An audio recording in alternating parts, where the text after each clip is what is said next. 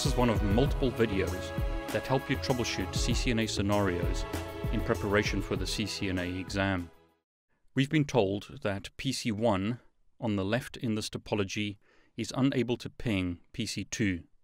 In this topology I'm using GNS3 and Cisco IOS V routers as router 1 and router 2 and to mimic the PCs in the topology.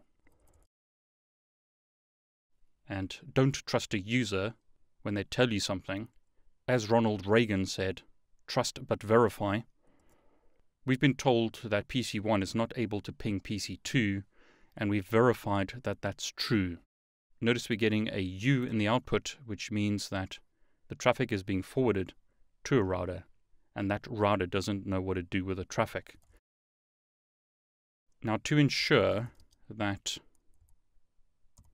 traceroute runs quickly, I'll disable IP domain lookup and then we'll run a traceroute to PC2. Notice the traffic is getting to router 1 but is not going any further. So it looks like there's a problem on router 1. On router 1, show IP route. Show IP route shows us that the only routes in the routing table are directly connected networks and the local IP addresses on the router. Because this is a remote network, we need to run routing protocols on router 1 and router 2 to exchange routes. So router 1 needs to learn about network 10130 from router 2. So on router 1, show IP protocols. Are we running a routing protocol? And the answer is yes, we are. We're running OSPF. OSPF is enabled in area 0 on gigabit 00 and in area 1 on gigabit 01.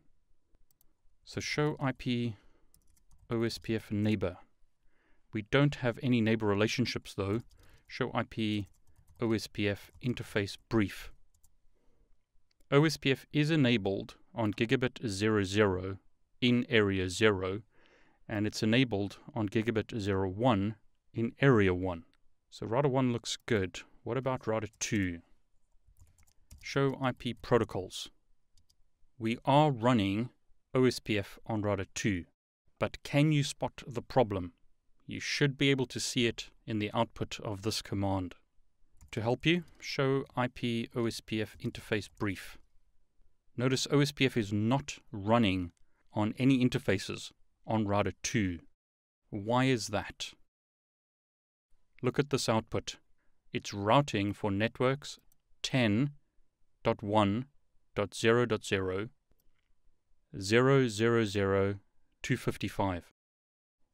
This means there's an exact match on the first three octets. In other words, OSPF is only running on network 10.1.0.0. Do we have any interfaces in that network? Show IP interface brief.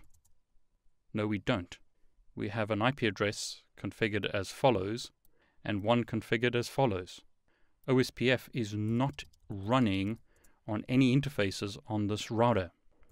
Show run pipe section OSPF. That allows us to view the OSPF configuration. So OSPF has been configured, but notice the network command has been configured incorrectly. So router OSPF 1 no network 10100.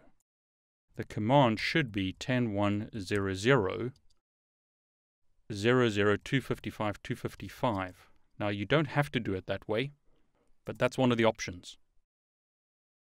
Notice suddenly a neighbor relationship is established. Let's have a look at the output again. So show IP OSPF interface. Let's rather do a brief because that's too much output. Notice OSPF is now enabled on both interfaces of router 2. Show IP protocols. This looks a lot better. Show IP OSPF neighbor. Neighbor relationship is established to router 1. Show IP route. We have an inter-area route on router 2 to network 10.110 and on router 1 show IP OSPF neighbor we have a neighbor relationship to 10131, show IP route, we have learnt a route through OSPF.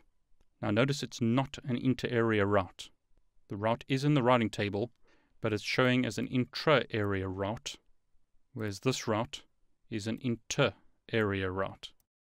Can PC1 ping PC2? Answer is yes. So this is a decision that you would need to make based on your design.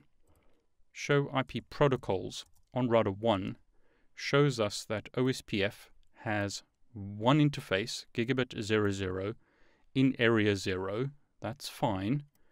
This interface is in area 1, whereas on router 2, we have both interfaces in area 0.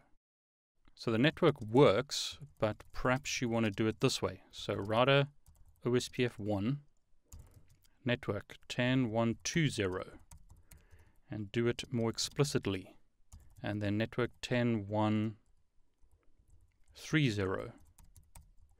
I'll show you the output in a moment if you weren't sure about what I was typing. So show run section OSPF. We have two network commands configured. This network is in area 0 based on this command. And this network is in area 2 based on this command. Show IP OSPF neighbor. Neighbor relationship is established. We have an inter-area route on router 2. And on router 1, we now see an inter-area route 10130/24. In other words, this network is in area 0.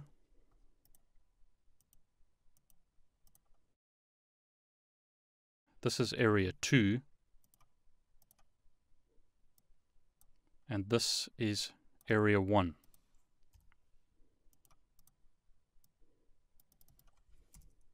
It's important that you update your documentation and make sure that you configure your network correctly per the documentation. So to confirm that, show IP protocols. This is correct. It's area 0. This is also correct. That's area 1. Show IP protocols on router 2. Output looks as follows. This network 10120 is in area 0 and this one is in area 2. Now the reason why we have a difference in the output